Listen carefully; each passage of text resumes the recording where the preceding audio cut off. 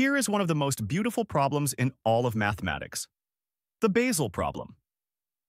It asks for the exact value of the sum of the reciprocals of all perfect squares.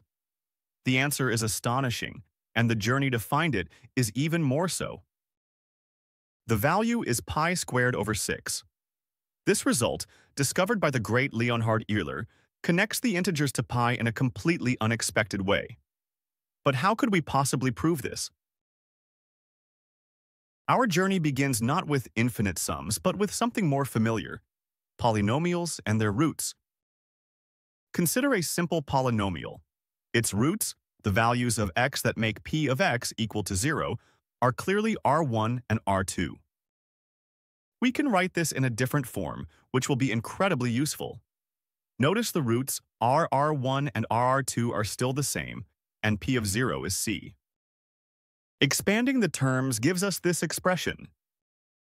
Now, let's factor out the variable x from the middle terms.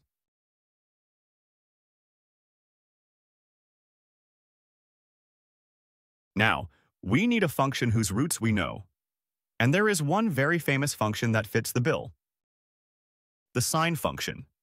It has roots at 0, pi, negative pi, 2 pi, negative 2 pi, and so on, for all integer multiples of pi. The roots of the sine of x are all integer multiples of pi. This leads to a powerful strategy. We will find two different expressions for the same function and then compare them. The function we will use is the sine of x divided by x. Why? Dividing by x removes the root at x equals 0. You'll see why this is important in a moment. First, let's write our function as an infinite product using its roots. The roots of sine of x over x are now at plus or minus pi plus or minus 2 pi and so on. Following our polynomial analogy, we can write it as an infinite product like this. Using the formula a minus b times a plus b equals a squared minus b squared, our product simplifies beautifully. Let's call this expression 1.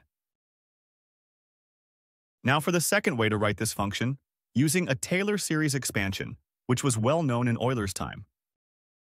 The Taylor series for sine of x around 0 is x minus x cubed over 3 factorial, plus x to the fifth over 5 factorial, and so on. We will divide the entire series by the variable x. Distributing the 1 over x gives us this new series. And evaluating the factorials gives us the simplified form. Let's call this expression 2. Now for the moment of truth. We have two different expressions for the exact same function. They must be equal. The infinite product must equal the infinite series. So the coefficient of x squared from the product side is negative 1 over pi squared, minus 1 over 4 pi squared, minus 1 over 9 pi squared, and so on. Now, we equate the coefficients from both sides. We can factor out negative 1 over pi squared from the right side. And look what has appeared. There, that looks much cleaner. And there it is. We have arrived at the solution to the Basel problem.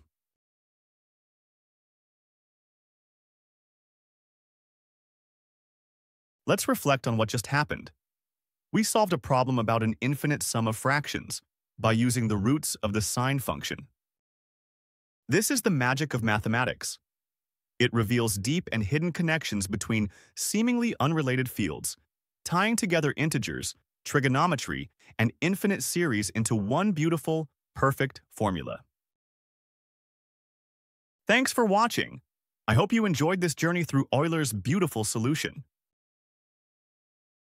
If you enjoyed this, please like the video and subscribe for more deep dives into fascinating math.